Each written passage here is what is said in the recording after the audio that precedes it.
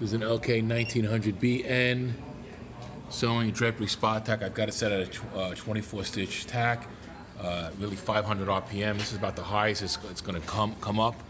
If you look underneath here, we have just about three quarters of an inch underneath. So you really have to kind of push the material underneath to get something that thick. But we're going to show that this it can be done. So what you want to do, with, especially with the monofilament, is have a very long thre- thread here. See, see the thread. See the thread where I have here in my hand. I had the thread pulled out very long from here. That way it starts with the monofilament. All right, so now I'm going to sew with this. And if you look at this, this is actually quite quite thick. It's three inches if I compress it, but it's it's going to take some time to compress it. So we'll get it underneath.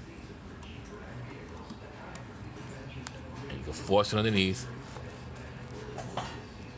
You hold this thread. Take, get a picture of me holding a thread. I'm holding the thread out here. I'm holding the thread here from the needle, so it's quite a distance away.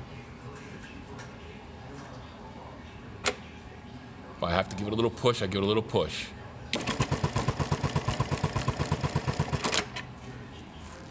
And then it sews it. And I went through all the pieces. I'm gonna do this again, so I'm taking the thread here.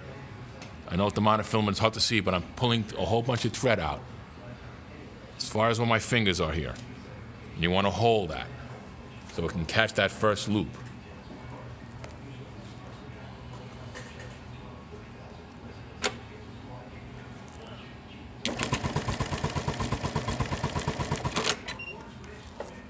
And then you can see it attack.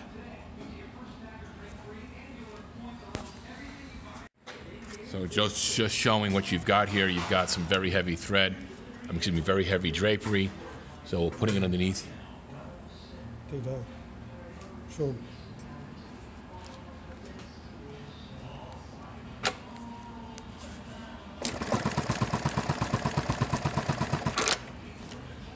Okay, so you can see the pattern a little bit better. Okay.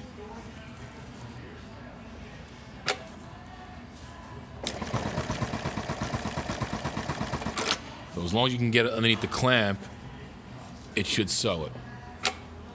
You may have to help push down on the clamp, but once the stitches start going in, it'll pull in tight and it'll sew okay.